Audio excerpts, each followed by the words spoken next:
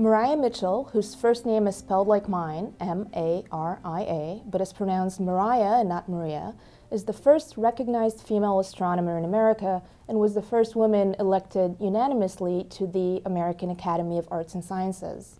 In 1831, when she was still a teenager obsessed with stargazing, she heard that the King of Denmark had offered a gold medal valued at 20 ducats, which was a lot of money at the time, to the first person to discover a telescopic comet.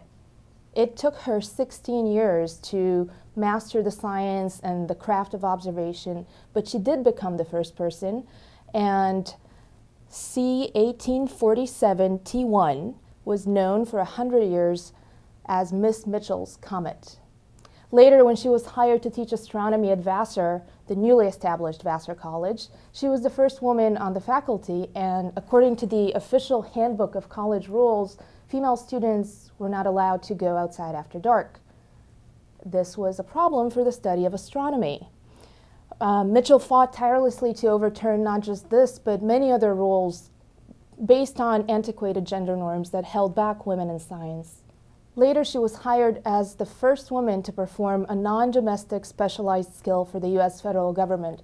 She was paid $300 a year for her job as a computer of Venus for the United States nautical almanac. It was a very, very mathematically rigorous job that required her to perform very complex calculations that would predict the position of Venus in the sky for years to come.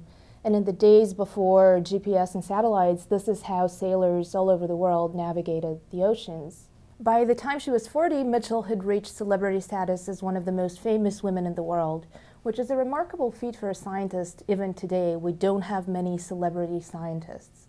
Uh, but she was most beloved for her extraordinary generosity of spirit that went along with her genius. She didn't much care for the accolades and the recognition and the celebrity, but she went out of her way to mentor and help cultivate the talents of women in science, uh, which required that she overcame her painful shyness in order to be a public speaker and a public figure and a role model and an educator, which she continued to be. She continued to teach right up until her death.